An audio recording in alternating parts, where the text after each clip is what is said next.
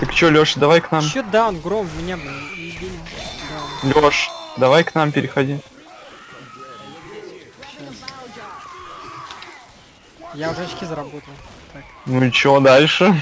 Ну, блин. Ты будешь дальше им очки зарабатывать?